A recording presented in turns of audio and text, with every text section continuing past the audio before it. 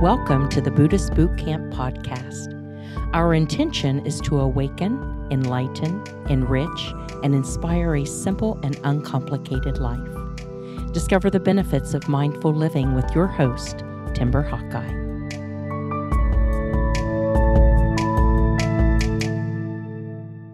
Let's pretend you have a friend named Carrie. She is gentle, loving, peaceful, responsible, quiet, kind, and sweet. Now imagine getting a phone call from her in the middle of the night asking you to bail her out of jail because she got caught with a knife and a baseball bat, arrested for destruction of property, and possible charges for attempted assault with a deadly weapon. This is obviously surprising and confusing, so you immediately wonder what was she thinking? And if Carrie was your daughter, you might even shout on the phone, What were you thinking?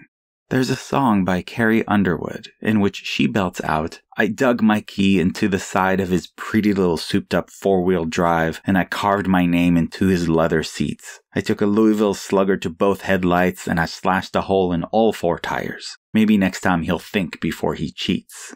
Now we have a little more context. So we no longer wonder what Carrie was thinking. We understand what Carrie was feeling. Instead of trying to wrap our heads around other people's thought process or trying to understand their logic, we can open our hearts to compassionately relate to their feelings and emotions, irrational as they may be. It doesn't mean that what this man did to Carrie wasn't wrong, and it doesn't make it right for Carrie to have reacted the way she did. But the moment we relate to her pain from the betrayal, heartache, and disappointment, we understand why she behaved like that. We may not like it or agree with it, but we understand that Carrie wasn't doing a lot of thinking in that parking lot. She was acting out her feelings, and we have all been there, done that. Getting that call from jail in the middle of the night, your response wouldn't be judgment and condemnation, perhaps especially if this was your child. It would be empathy, patience, and unconditional love. It would be a shift from, oh, Carrie, to, oh, Carrie.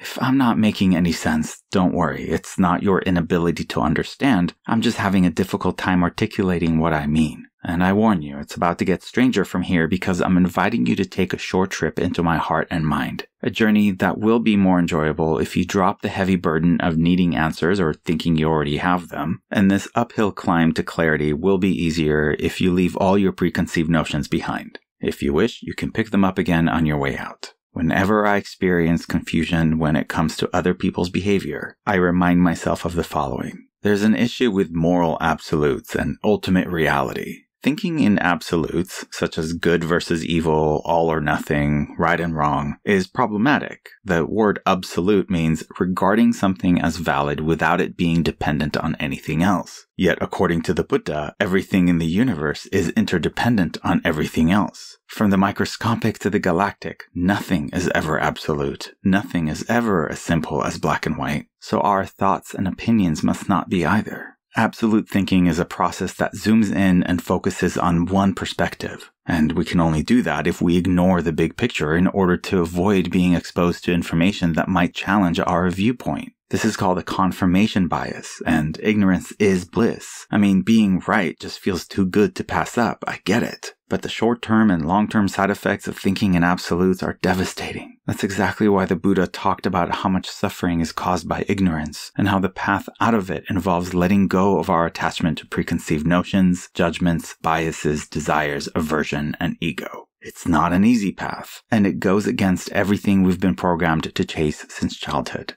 acceptance and praise for doing the right thing. Well, how can we possibly do the right thing if we let go of absolutes? Rumi said, Beyond wrongdoing and right doing, there is a field. I will meet you there. He spoke of a space consisting of unconditional love and compassion without judgment. Imagine being in that space, in that field beyond right and wrong, when you get that call from Carrie in the middle of the night even without hearing the full story. You answer the phone with empathy already in the forefront of your heart, not because it's Carrie Underwood and you are hypothetically friends with a celebrity, but because unconditional kindness is part of who you already are. In reality, Carrie never actually did those things or even wrote that song. But when we hear someone's pain and anguish, we feel a connection to them. But you already know this episode is not about an old song, of course. It's an invitation for all of us to take a moment whenever we hear what's going on in the world, and we take a pause just long enough to step out of our headspace, where we try to rationalize and understand what someone else is thinking when they are doing something, and instead we step into our heart space where we contemplate what they must be feeling when they are doing it. Mind you, we just make a guess and we hold it lightly to make room for the possibility that we may still be way off. In fact, during our monthly discussion about this topic, a teacher mentioned one of her students is very disruptive in class, randomly whistling, for example, in the middle of lessons. An educated guess is that the kid isn't getting enough attention at home, and this is a way to be noticed, heard, and seen. Someone else suggested that it's possible the student is actually an only child and used to getting a lot more attention at home, so acting out is a way to express how difficult it is to suddenly share the spotlight with 30 other kids. That second perspective would have never even occurred to me. And that's why it's so important to accept that we may never understand what someone is thinking, but we can always guess what they must be feeling. When you make that shift, you recall yourself feeling justified in your own anger or pain before, for example, or being consumed by sadness and loss, or feeling elated by the joy of winning, consuming, or acquiring what you have wanted for so long or believe is rightfully yours in the first place. Remember, greed, hatred, and ignorance arise in each of us endlessly, so we vow every day to abandon them. It's a moment by moment practice. If we shift from trying to understand people's thoughts and instead tap into what they are feeling, we will be able to relate to each other for one obvious reason. We are all already related. I am another you, and you are another me, and we are in this together. If you find value in what I do, please show your support through buddhistbootcamp.com slash support. It's how I am able to keep this podcast free of commercials, ads, and sponsors, and how we continue supporting the Books to Schools and Prison programs, along with mental health associations, recovery groups, and veteran support. That's buddhistbootcamp.com slash support. Thank you for making this possible. I appreciate Timber Hawkeye is the best selling author of Buddhist Boot Camp, Faithfully Religionless, and The Opposite of Namaste. For additional information, please visit BuddhistBootcamp.com, where you can order autographed books to support the Prison Library Project, watch Timber's inspiring TED Talk, and join our monthly mailing list. We hope you have enjoyed this episode and invite you to subscribe for more thought provoking discussions. Thank you for being a soldier of peace in the army of love.